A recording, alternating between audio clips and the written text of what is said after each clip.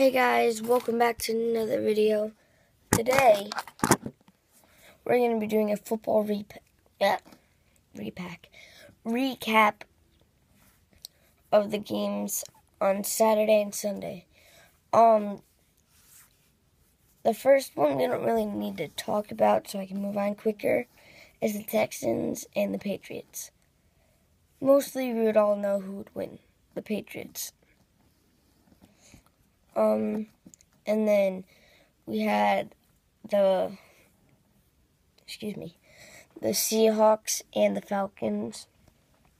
That game was cool. I think Julio Jones had a touchdown, I think. Um, I forgot. Oh, I know Devonta Freeman got one. I told him because I didn't really watch the game, but I heard some stuff about it. Um, so yeah, um, and then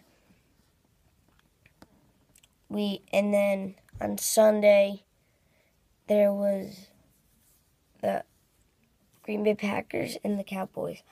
I think personally, that sounded weird, um, that that was one of the best games played in the playoffs this year. Sorry guys, I'm just like kind of tired. I just woke up. We have a two-hour delay today, so that's why I did this video.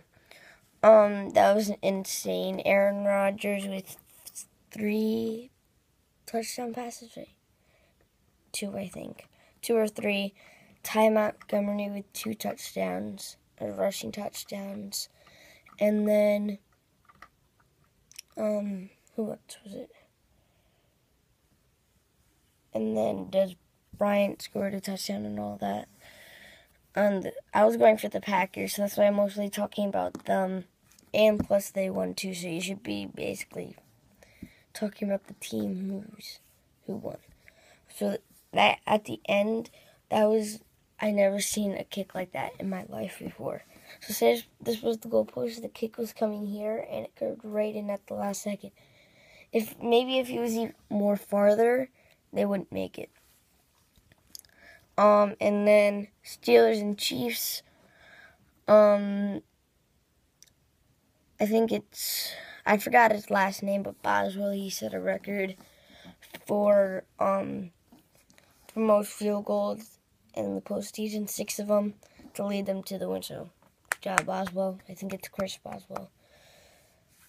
Um, they never scored a touchdown, so it's 18-16. Alex Smith threw a touchdown. Who's on the Chiefs? So.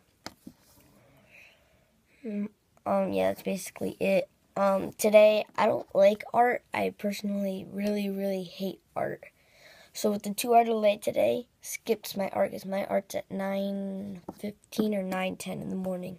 So we missed that, so I'm so excited that I'm already past that. And then I can, and then you only have like an hour left into the day to get to a half day. Basically, it's kind of like a half day, basically, because you get to noon, basically, or 11 to noon, and then all the way to like 3 o'clock, 3.30 maybe, 3.45. Hmm. Obviously, my sister doesn't know she's in a higher grade.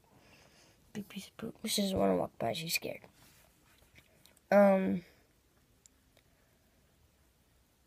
So yeah, um, so I'm excited, but I'm also bummed out because I have intramurals today. That's why I woke up so early for nothing.